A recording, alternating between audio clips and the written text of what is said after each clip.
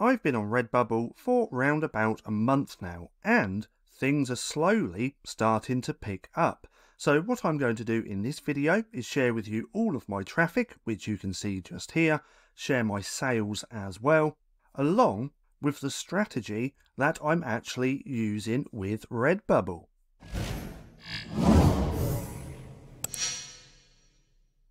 I started Redbubble round about the 14th of February, so it's been just round about a month, and as you can see from my traffic, things are slowly starting to pick up.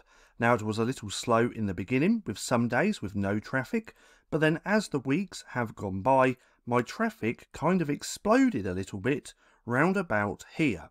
So I've started getting a lot more organic, a lot more Redbubble visits, and others as well. Now, my goal with this is to really increase my organic traffic. And my organic traffic will be coming from search engines like Google, Bing, and Yahoo. Now, I have also made sales as well. So if we come over to here, these are the sales which I've made. Now, it's only been two, but considering this is my first month, I'm extremely happy with this because realistically, I didn't expect to make any sales whatsoever for at least two to three months. So to get two sales in my first month is a really good sign to me. Now, I actually made my first sale round about here.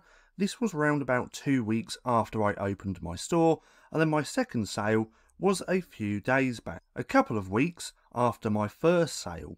So this one was for selling a t-shirt and I made £3 and 7 pence and my second sale is £1.38 where I sold a mug. So, as you can see, things are actually going fairly good for me. But again, I really want this organic traffic here to increase even more. Now, the way that I'm doing this all comes down to my strategy.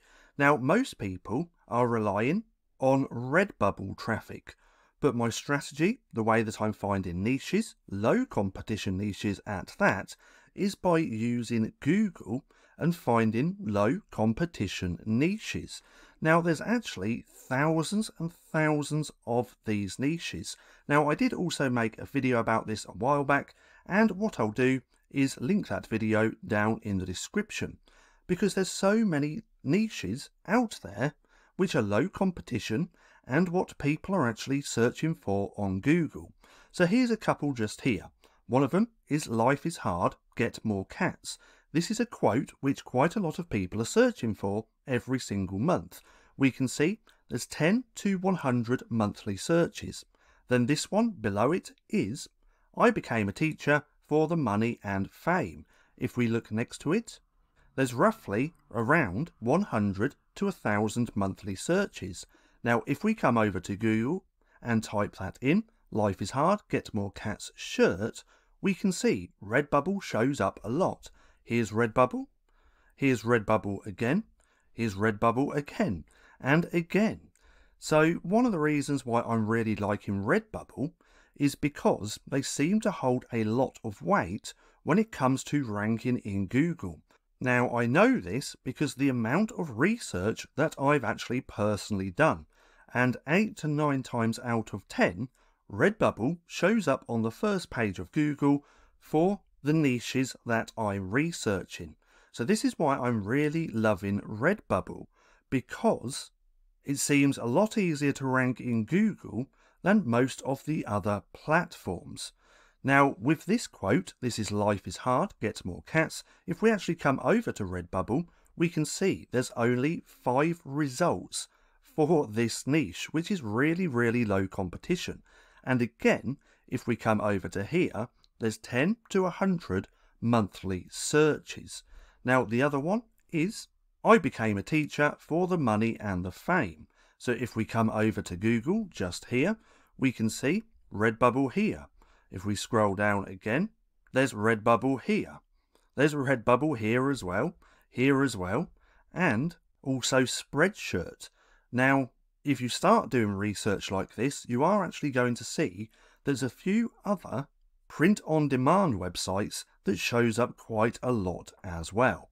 But nonetheless, if we come over to Redbubble, we can see for I became a teacher for the money and the fame, there's 484 results. So this is actually low competition as well. And with this one, there is roughly 100 to 1,000 monthly searches.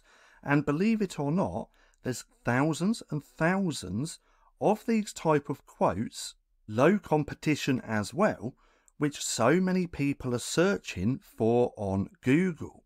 So my whole strategy is doing my research on Google, finding loads of these low competition niches, and then creating products around that with the hope in ranking in Google over time. And again, as we can see, my organic traffic is slowly getting better. In fact, all of my traffic is. So come back to here, it was around about the 7th of March is when my traffic had that little explosion. So I went from having less than 10 views a day across the board to my highest day being 35 views in one day, with 15 of that being organic. Now, one thing to keep in mind, and that is I am uploading new designs every single day. So, what I like to do is do a bunch of research over on Google, finding all these niches, putting them into a spreadsheet.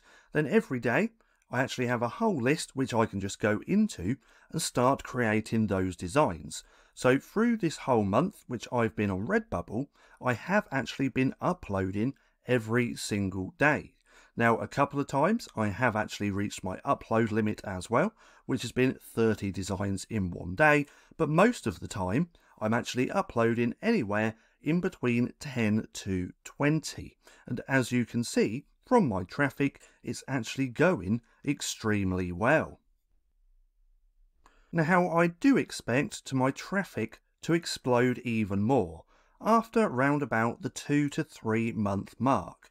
So I'm going to consistently create designs and upload them every single day. Then, hopefully, Google, Bing, or Yahoo will pick up my designs as well. Then, in around three months, I think this traffic is really, really going to explode. Now, I could be wrong, I could be right, so it's going to be interesting to see what happens. But nonetheless, I'm just having fun creating designs and uploading them to Redbubble. And that's the whole thing about business. You want to do something that you enjoy and that you find fun. Because if you do that, then it never feels like you're actually working. Now, with that being said, that's everything which I wanted to share with you. I just wanted to share with you my results for my first month being on Redbubble and my sales as well because Redbubble, print on demand, this is something which I've been immersing myself with over the past month.